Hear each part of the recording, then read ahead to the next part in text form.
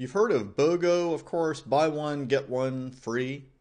Well, here you're doing LOGO. You're learning one and getting one free because you're going to learn one simple operation that gives you two very important values. One, it's going to give you the broadcast address for any given subnet, and it's going to give you the range of valid IP addresses that we can put on hosts for any given subnet. We know how to calculate the number of valid hosts on a subnet, but obviously, if we're going to assign them to hosts, we better know exactly which addresses they are. So whether you need the valid address range, the broadcast address for a subnet, or both, we've got it here with one quick operation. And here's a sample question. You'll see what I mean. What's the range of valid addresses for the subnet 210.210.210.0 slash 25? A little bit, little bit of a cheat there on the 210 three times, but it illustrates what we're going to need to do because what we need to do is, is convert the address to binary and identify the host bits. You don't necessarily have to draw the mask out underneath. I'm going to do that in our example here.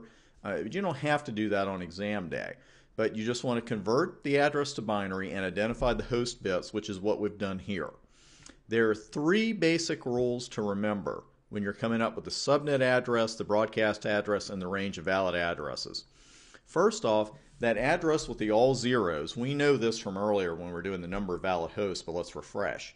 The address with all zeros for the host bits is the subnet address.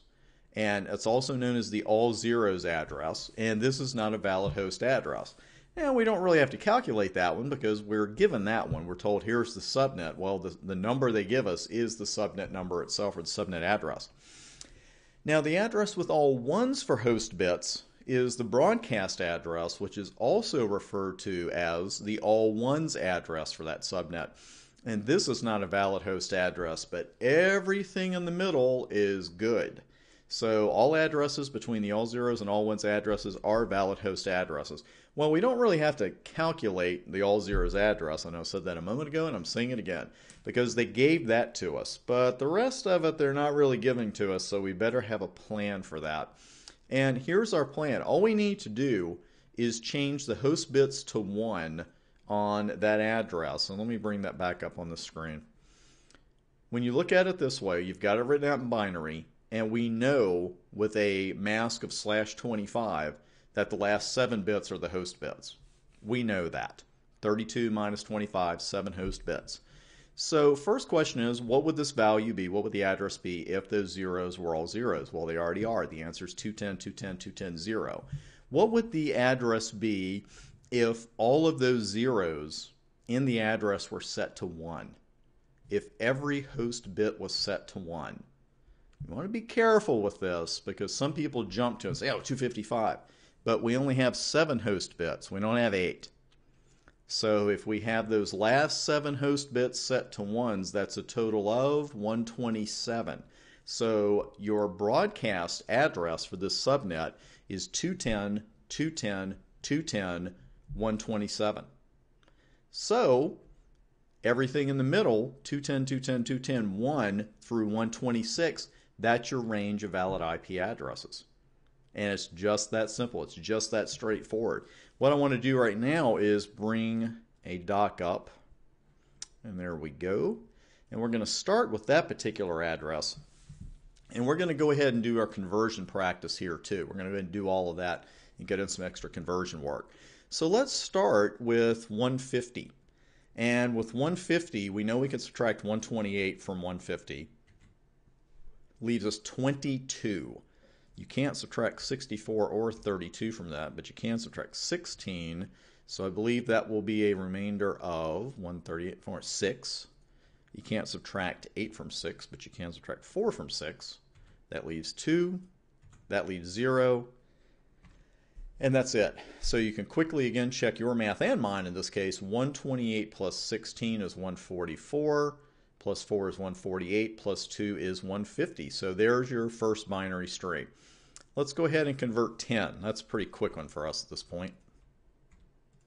We know the first four numbers are going to be 0. You can subtract 8 from 10, and that will give us a remainder of 2.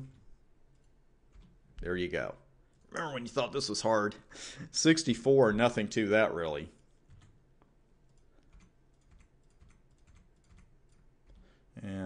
Just for fun and giggles.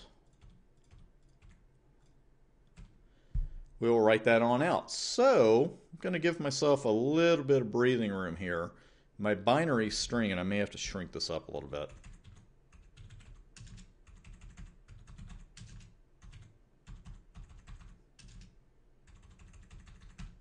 Yep, let me shrink that up a little bit. There we go, 28 will do. So there is my binary string, and the mask that I was given was slash 18. So how many host bits do I have? I have 14 host bits. There are the 14 here at the end. See where I got that from? Those are our 14 host bits because the first 18 bits are our subnet. That's our subnet mask. So the question is, first off, what would this address be if this was all zeros? Well, we know the subnet address is 150.10.64.0. Got that with a slash 18, of course. What would this address be if all of the host bits were changed to ones? Be careful here. be careful because if you're just concentrating on the host bits here, it would really be easy to say, oh, well, you know, this is 63 and this is 255. Well, if all of these bits are set to 1, don't forget that the 64 was already set to 1. So if we set these all to 1s, what's that going to be? Let's go beneath that.